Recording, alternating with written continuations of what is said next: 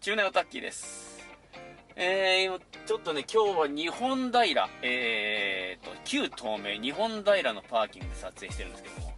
ついさっきまでね、えー、ちょ、ちょ、時間が余裕があったんで、パーキングから脱出して、ちょっと北村でも行ってみようかなと思って、自転車こいで行ってたんですけど、まあ、ここ結構傾斜地にあるんですね。帰ってくる途中にもヘロヘロになりました。で、北村には何にもねえし、まあ、EOSRP のね、ほどほどにやれたやつがね、えー、っと、8万6千円だった。まあ10万をはるかに切る値段だったんで、おっと思ったんですけど、買えるわけもなく。ま今日で、えー、で、お気づきの方いると思いますけど、α7 が修理から帰ってきました。えく今、α7 ですね。で、北村でね、えー修理してもらったんですけど、結局ソニー直出しということでした。で、えー送料だけ取られまして、1100円ね。えーソニーに出して、で、ボディの方はセンサーを清掃、これはサービスみたいですね。センサー、イメージ、イメージャーゴミ、傷、えー、撮像端子部チェック、えー、センサー性能、清掃、汚れ清掃1ということで、えー、と、各部動作テストいたしました。んで、レンズ。レンズの方がね、えー、レンズが壊れてたんですけども、レンズイオン、えー各部機能チェック、えー三群含み不良、交換1、えー技術量0ということで、えー結局は送料1100円だけで修理することができました。えー北村さんはね、えーっと、なんか自分のとこで修理するっていう評判だったんですけども、どうやらソニー直出しで、えーソニーで修理して帰ってきた模様です。で、フォーカス聞いてんのかな まあ、こんな感じで修理やってきております。えー、でね、ついでにね、北村の店長にそそのかされてこんなもの買ってきました。これ、パッと見で分かる人はすごい、えーペンタコンのレンズですね。えーカールツアイスイエナ、えー DDR、50mm の F4、えーを買ってきました。これね、あの、絞りが動かないということで、だから絞り粘ってるだけみたいなんですけど、たまに動くんですよね。今動かねえか。ええ多分一応ね、あの、絞りユニットには手を出したんですけど、絞りが粘ってるというよりは、どっちか言ったらなんか精度が良くないみたいで引っかかりがあるような感じなんですけど、まあもう一回ちょっと分解してみてね、やろうと思ってますけど、マウントアダプターはすでにね、F マウント用のマウントアダプターを注文しまして、えなぜ F マウントかって言ったら、まあ F のカメラで使いたいというのが一つあったんですけど、もう一つは F マウントのね、E マウントのアダプターもあるんで、ダブルマウントで E マウントにも使えてお得かなと思ってね。EOS マウントのね、アダプターもあったし、E マウントのアダプターもあったことはあったんですけど、同じぐらいの値段でね。えーとりあえず F マウントでフィルムでできれば撮りたいんでね。えーそんなわけで今日の動画スタートしていきますが、えー今日の動画は、えー、と、出すの忘れてた EOS5 で、よいしょこのレンズでね、撮影してきました。えー、シグマのね、400mm、ドーンとね、えーこれドリームロコモーティブ様から提供いただいた、これね、えー、っと、400mm アポクロマートですね、単焦点、えー F5.6。こちらで撮ってまいりました。結構いいレンズだったみたいですよ。えーいい絵が撮れてると思います。それでは動画スタート。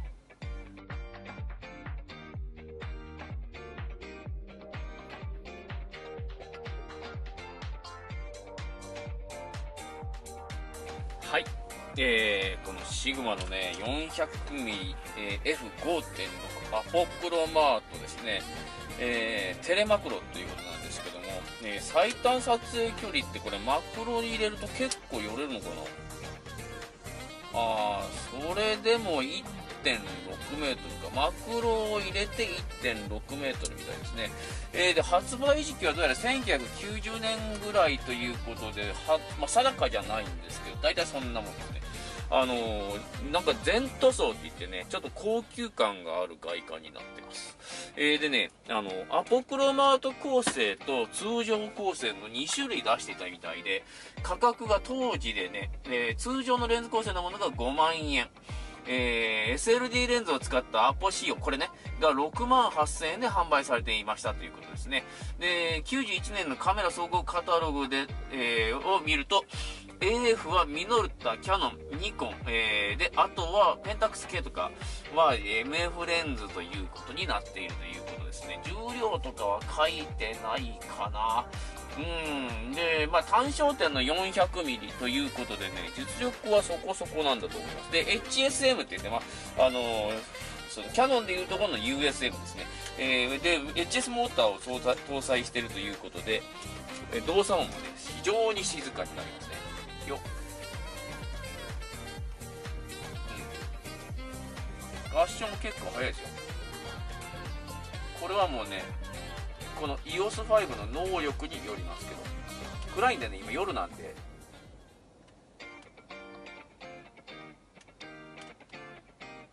頑張れ。ちょっと揺れるからピントが合わねえや。なぜ画角が狭いんでね、もうちょっと揺れるとものすごい、えー、範囲を動きますが、重量が重たいし、えー、キャノンの EOS5 のね、え、ホールディング性も良いということで、結構ね、これ、あの、構えやすかったです。手ぶれもね、あの、起こしにくい、えー、ちょうどいい感じのレンズなんです。まあ、手持ちで撮るのはどうかなって思うんですけど、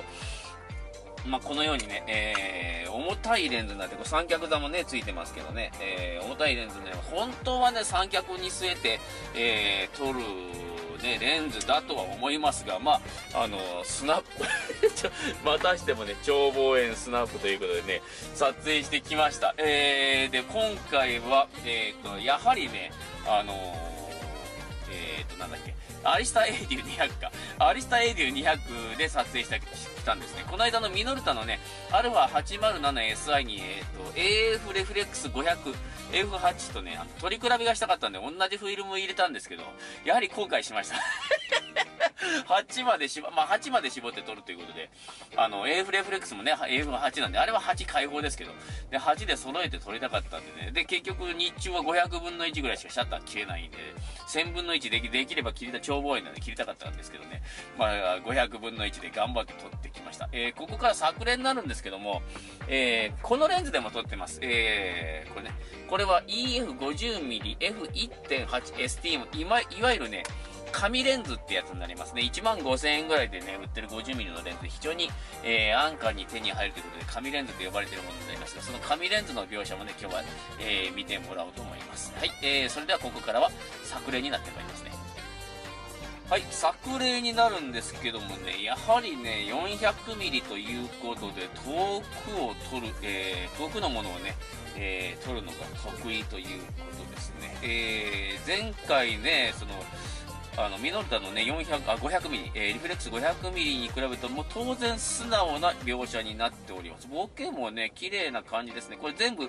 F8 で撮っております、えー、解像度もねまあ、えー、いい感じ。単焦点さすが単焦点っていい感じなんですけどボケが自然ということでまあ普通に使えるレンズではありますね。まあ重たいんは重たいんですけども。まあ手ぶれはねこれ頑張って撮ってるんで一応手ぶれはしてないですね。えー、でここからはね、ね紙レンズ、えー、EF50mm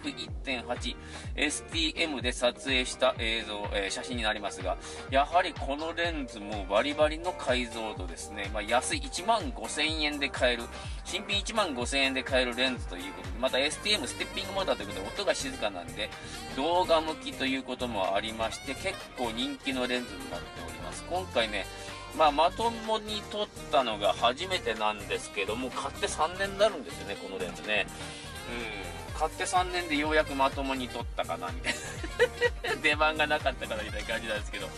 もうステッピングモーターということで、音も静かでいい感じのレンズになると思います。えー、でね、あのー、せっかくね、同じようなシチュエーションで同じ時期で、えー、超望遠ね、2本。えー、今日はもうミノルタのね、レンズとカメラに今ちょっと下ろしちゃってるんですけども、えー、今日3ヶ月トラックと3ヶ月点検に入ったんでね、カメラあんまり多いと困るんで下ろしちゃったんですが、えー、このレンズと、えー、前回紹介したミノルタ α807SI に、えー、F レフレックス 500mm、えー、F8 で撮った写真をね、えー、と、ちょっと数枚ですけど比較してみました。はい、えー、で、それでね、ここからが、えー、と、AF レフレックスからいきますよ。で、5.6、405.6。まあ、見りゃわかるんですけど、焦点距離に差が出ますが、やはりね、その背景、あの、周辺の、えー、背景、何ていうか、えー、周辺光量落ちたからね、は、まあ、シグマの 400mm が発生しておりません。えー、で、まあ、解像度はね、互角かな。ただ、このように画角がやはり 500mm のがぐっと伸びますね。えー、まあ、400mm と 500mm、100mm の差があるんですけどもね、あの、面白い写真を撮るんだったら断然 AF レフレックス、え、500になりますし、まあ、普通に撮りたかったら、まあ、こっちの 400mm の、え、5.6なりますかね。まあ、AF、ミノルダ用もね、一応あるということで、これシグマ、サードパーティーのシグマのレンズで、えー、当時の価格もね、6万8000円っていう普及価格なんですけども、えー、画質は十分だと思います。ここからでも撮ってみなきゃいけないな。えー、ただもうね、息子が中学生になってるんで、運動会もね ど、どうだかなっていう感じになってはきてるんですけども、まあ何を撮ろうかな。カラーフィルム入れて何を撮ろうかなって感じになりますね。えー、でね、デジタルなんですけども、デジタル撮りゃいいじゃんって話になるんですが、このレンズ実はね、えー、デジタルカメラの EOS には使えないレンズです。えー、ミノルタとか、ミノルタ、ソニー、A マウントとか、えー、ニコンはちょっとわからないんですけど、えー、キャノンの EF マウントの場合はね、これね、古い、えー、そのフィルム時代のサードパーティーのメーカーのレンズは、えー、そのままではね、えー、EOS デジタルには使えないと。エラーが出ちゃうんですよ。なんかレンズ通信エラーが出てしまうんで。で、古いデジタルはどうかなと思ってね、今日持ってきたんですよ。よっ。まあ、キャノンのね、デジタルで僕一番古い持ってるの、これ EOS キッスデジタルの初期型なんですけど、やっぱ初期のやつでもダメなのかな？つけてみようかなと。よっ。よいしょ。はい装着してみましたよ。立ち上がりが遅いんだよねイオスキスの初期型ね。ん？なんだ？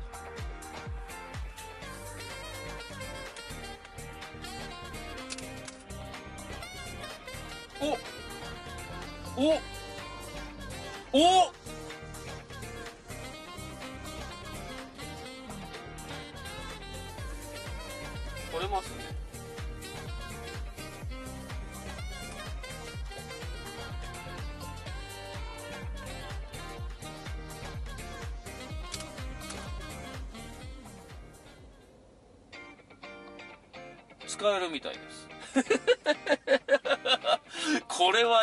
ちょっと今初めて試したんですけど、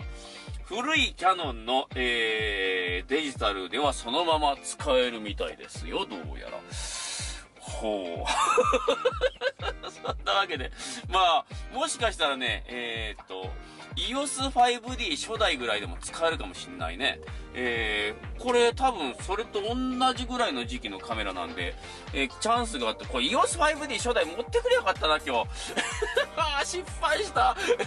フルサイズなんでね、一応ね。ああ、じゃあこれで今度コウノトリでも撮ってみるかな。えー、まあ、5D 初代でもちょっと撮ってみようと思います。カラーでどんな色が出るかね、ちょっと試すこともできますんでね。はい、えー、今日のね、カメラ紹介というか、レンズ紹介というか、こんな感じになります。えー、ドリームロコモティブさん、本当にありがとうございました。400mm の単焦点、使ったことなかったんでね、300はね、持ってたし、今でもね、えっと、5.6の FD とか持ってるんですけど、400の単焦点は初めてで、今までは 400mm って言ったらもう、えー、と、EF の 8200F2.8L に、えー、2倍のテレコンをつけるとか、そんな感じで使ってたんですね。で、前回ね、その 500mm のレフレックス単焦点、えー、で、今回 400mm の単焦点ということで、単焦点の超望遠2本連続で撮りましたがね、まあ、ご協力、えー、2人、お二人のご協力のおかげでね、えー、このような貴重なテストができました。えー、これね、デジタルも古いデジタルどうやら使えそうなんで、これはびっくり。えー、今度ね、デジタルでね、えーと、この鳥でも撮ってみようちょうどね、もうちょっとしたらね、ゴールデンウィークになるんで、えー、撮ってみようと思います。えー、カラーネガ、うーん、どうだろうね、カラーネガ、カラーリバーサル。でも撮ってみるかな。まあちょっと余裕があるかどうかにもよりますが、いろいろ試してみようと思います。はい、えー、今日のね、えーと、レンズ紹介、えー、はここまで、えー、ここからはね、視聴者様の作品とこのコーナーになってまいります。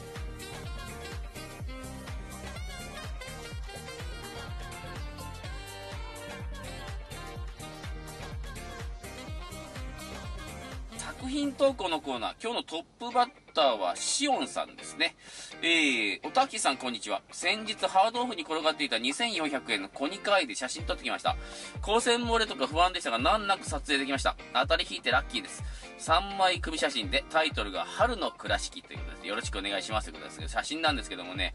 非常にね、よ、よろしい天気の中でね、えー、これ水路を観光の船かなんかで桜見れるんですね。いい感じで撮られております。えー、まあ、みんなマスクしてるもこれしょうがないんですけど、えー、どうしてもね、これ、時期が時期なんでね、そうなんですけどね、まあ、桜にね、水路ということで、えー、見事な写真になっておりますね。これもうちょっと高いところがあれば桜が写って違う写真も撮れたかもしれないですね。はい、えー、しおんさんありがとうございます。えー、次は、けんちゃんさんで2枚ですね。作品投稿です。えー、いつもの公演で満開、えー、ミノルタ α807i AF3570 コダックゴールド200、2枚目が、えー、トンネルアート、キャノンオートボーイ、えー、コダックゴールド200、えー、ストロボ発光、えー、迷信下のトンネル、小学生のアートですということですね。で、作品なんですけど、1枚目はね、これできれば日中シンクロかなんかしたかったところですけどね、まあ明るいんで、えー、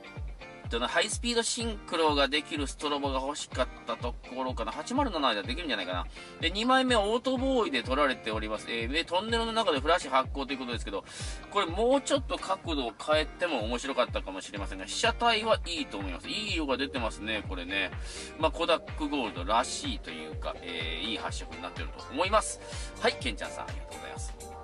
えー、次がね、一都市9さんの作品2枚。えー、タイトルがね、1枚目がね、桜一里、えー、2枚目がただいま橋の工事中ということですね。えー、カメラオリンパス OM30、えー、レンズ随行 28mmF3.5、記録用100というですね。えー、で、作品なんですけどもね、ちょっと光がない状況、花曇りだったのかな。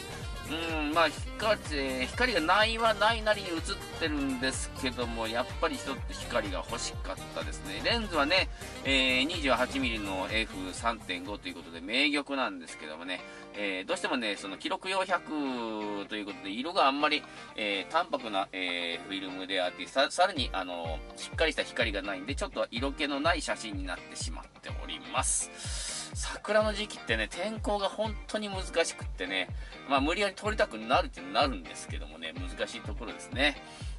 はい、一としげさんありがとうございます。えー、次がね、長州薩摩さんの作品ですね。えー、中内歌さんこんにちは。いつも楽しい動画をありがとうございます。えー、池袋西口公園の噴水が綺麗だったので撮影しました。タイトル、池池袋のオアシス。えー、カメラニコン F3、レンズ AI ニッコル 50mmF1.4S、フィルムはコダックウルトラマックス400というね。で、作品なんですけどもね、ものすごく綺麗です。もの、本当に綺麗なんですけどもね、できればもうちょっと夜か、縦構図にトリミングしたかったかな。縦構図にトリミングしても十分いけると思いますけどね。見えるかな？見えるかな？まあこんな感じでね、トリミングしてもよかったでも、寄ってもよかったんじゃないかな。寄ったらなお背景がボケてよかったんだと思います。これ本当に綺麗な噴水ですね。まあ東京はやっぱいろいろとありますね。田舎者ぼやきですけど、これは。はい、えー、長州薩摩さんありがとうございます。えーと、次がね、岩渕さんから2枚ですね。えー、こんにちは、お疲れ様です。この前は YouTube で写真紹介した時ありがとうございました。えーと今回も作品投稿コーナーへ投稿したいと思い、DM させていただきました。えー、どちらも2年前に iPhone6S で撮影したものになります。タイトルは1枚目がねぶたと元愛車、2枚目がモノクロバージョンです。えー、通常とモノクロ両方投稿させていただきます。よろしくお願いします。光はね、すごく綺麗なんですけどもね、これね、できれば横構図が良かったですね。縦構図して上下がシャドウになってしまってるんですごくちっちゃい写真になってしまってますね。でね、やはりね、スマホのね、小さいセンサーということで、かなりノイズが出ておりますね。ノイズも出ておりますし、解像度、えー、コントラストも下がっております。ここはやはりスチルカメラにはかなわないところかな。えー、iPhone7 以降はね、結構ね、えー、良くなってるんですけど、やはりね、僕はスマホで撮影してて、最近はね、その、スチールカメラでね、動画を撮るようになりましたけどね、やはり、歴然とした差が現在ではあるようです。えー、っと、岩渕さん、ありがとうございます。もう、惜しかったです。これ、これは機材ですね。はい、えー、っと、これで終わりかな ?1、2、3、4、もう1名か。えー、っとね、これ MHR さんかな ?MHR さんの投稿ですね。えー、おたっきーさんこんばんは、MHR です。今回も2枚投稿させていただきます。1枚目はスーパーガール、えー、ニコン D610、えー、電車を流し撮りして遊んでいたところ、偶然女性が、女性がランニングしてきました。もうちょっと電車、もうちょっと電車と重なればもっと面白かったのですが、やらせじゃないので仕方ありません。2枚目はシャドウ。駅の窓に人が歩いていく影が面白いと思い狙ってみました。ニコン D610、えー、レンズは両方とも AFS にイコール2470ズームということですね。ああ、これ確かにね、1枚目。えー、すごく面白いですね。ちょうどあの流れる方向が同じだったんかな。これ、京王の電車と、えー、横でジョギングなんかしてる女の人が映っております。面白いっちゃ面白いですね。うん、絶妙のタイミング。えー、で、2枚目なんですけどね、本当にシャドウということでね、スマホを持ってるね、これ、子供かなんかが映っておりますが、えー、っと、これ、縦構図でも面白かったかな？こんな感じでも面白かったかもしれないですね。はい、えー、っと、MHR さん、ありがとうございます。今日の投稿はここまでまだたくさんお待ちしておりますが、あ、そうでもないわ。今ね、えっ、ー、と、待機2名になっておりますね。はい、えー、で、ここからはね、えっ、ー、と、俺のカメラのコーナーになってまいります。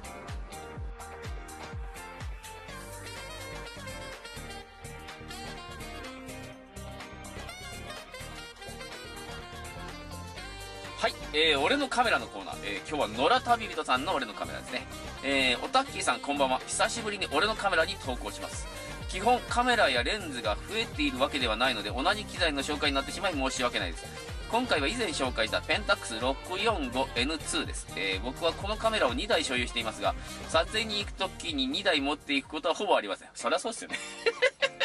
えー、645は120ブローニーフィルムで16枚撮れるのが嬉しいです。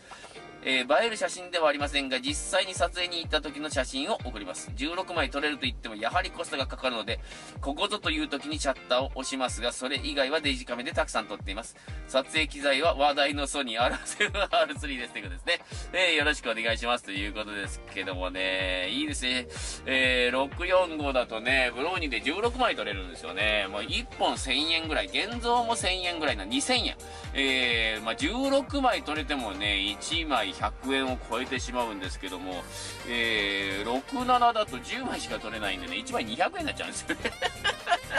まあ、こんなせっこいことを言ってたらフィルム写真できないんですけどね。はい、えー、っと、野良旅人さんありがとうございます。ここからはね、えー、っと、やったやっちまったのコーナーになります。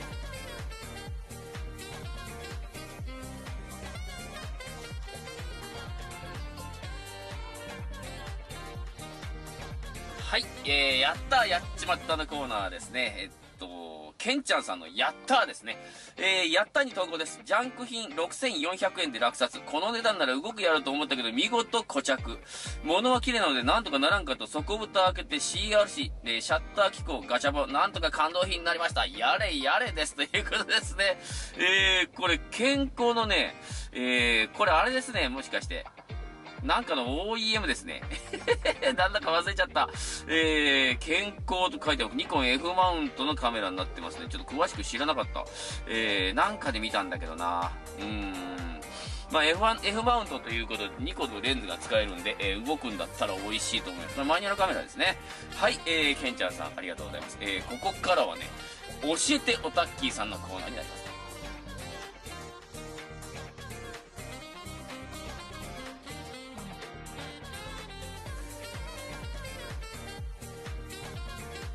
はい、教えておたっきーさんのコーナー。えー、教えておたきさんに投稿です。えー、4月10、あ、秋潤さんの投稿です。すいません。えー、4月19日現在、青森県も桜のシーズンを迎えてます。そこで以前からのフィルム一眼に挑戦。準備完了。えー、FD レンズの質問です。ヤフオクで以前銀枠の FD1.8 を知らぬ間に2個購入してまして、フィルムを入れる前に絞りを1.8にして正面に向けてカシャ。次に絞ってカシャ。シャッター幕からの光が変化ないのを不思議に思っています。これで良いのか悪いのか分かりません。えー、望遠レンズは絞りに応じてシャッター膜からの光が大きくなったり小さくなったりするので、銀膜レンズ壊れてる、えー、よろしくご教授くださいってこと。おそらくこれね、絞りが粘ってますね。えー、っと、レンズのね、取り付け位置とかでね、え FD はたまにあの、絞りの連動レバーが動かないことはありますが、望遠レンズの方が動いてるということで、絞りが粘ってる。えっと、さっきね、これ、このレンズでお話ししましたが、よっと。ね、こペンタゴンのね、えー、っと、カールツアイスイエナ、えー、DDR50mmF4、これもね、絞りが動かないんですよ。開放専用になっちゃってるんでね。えー、でね、直し方。これはもう分解するしかないです。えー、っと、銀枠の1.8分解した僕ないんですけど、おそらくは前、前軍から抜いていっただけで絞りまでたどり着けるんじゃないかな。えー、っとね、必要な工具はおそらくは、えー、っと、ゴム手袋 ゴム手袋ね。まあ、ゴム手袋ってゴム付き軍手。えー、ゴム付き軍手でね、多分ですよ。多分ですよ。えー、僕は 50mmF1.8 銀膜ばらしたことないんで多分になるんですけど、これでね、カメラにレンズつけた状態で、えー、っと、その、F、FD50mmF1.8SC で書いてるやつをね、指で押さえて、時計、半時計回りに回します。えー、それで、その、化粧板を外してそこからはカニメレンチでどんどん外していくことになるんですけどレンズの、えー、レンズ前から、えー、抜けるレンズを全部抜けていくとね絞りのユニットが出てきますで絞りユニットおそらくねネジ3本ぐらいで止まってると思うんですけどそれを緩めて外してでベンジンの中にドボンってつけます、えー、ベンジンの中にドボンってつけてね、え動作させますで、それを出して、今度パーツクリーナーで洗います。僕はそういう風にやってます。もうね、絞り機構をね、ばらすのが嫌なんで、えー、で、それで十分にね、えー、っと、乾燥させて、あのー、ちゃんと動くようであれば、えー、レンズに戻して、レンズを組みって、えー、組んでいって、出来上がりっていう感じになるんですけども、えっ、ー、と、えー、FD50mmF1.8SC 銀枠分解とかね、えー、そういうね、検索ワードで検索してね、え、やり方を調べてからやるのがおすすめです。え、FD レンズの古いね、レンズはね、分解は比較的簡単です。え、ただ、荒っぽくやってるとレンズを割ったりするので、えー、そこは気をつけて。FL レンズと違ってね、弾が転がってくるような場面はないと思います。FL とかね、あの、オリンパスの随行の、えー、随行の F とか、その辺は、弾が転がってきてなくしちゃうっていうね、そういうのパターンもあるんですけど、多分ね、FD は、えー、弾が転がってくるようなことはないと思います。で、絞りユニットをね、外すとね、今度つけるときにね、あの、上手につけないと絞り連動レバー動かなかったりしますんで、そこはね、ちゃんと、あの、組み付けて、ちゃんと動くかどうかをね、確認してからっていうことになるんですけども、まあ、そこはね、勉強しながらになりますかね。レンズの分解ね、古いものは、えー、新しいものは、あの、ダメですけど、古いのはね、もうはめていって締めるだけで大体ね、精度が出て片ボケとかしなくなります。えー、FD のね、古いレンズだったら、オーバーホールする、えー、練習にいいのじゃないかなと思いますけどね、えー、オーバーホールに出すと多分ね、5000円じゃでやってくれないですよ。1万円ぐらいは取られると思うんで、ジャンクレンズに1万払うのバカバカしいと思うので、いつ挑戦って感じで。まあ、カニメレンチはね、カニマレカニメレンチだけは絶対にいるんで、カニメレンチ大体3000円ぐらいで、ヤフオクとか楽天とかに売ってるんじゃないかな。で、このゴム付き手袋はね、えー、握力に自信がある人になりますけど、これはワークマンのね、えー、以前ね、えー、いただいたやつですけどね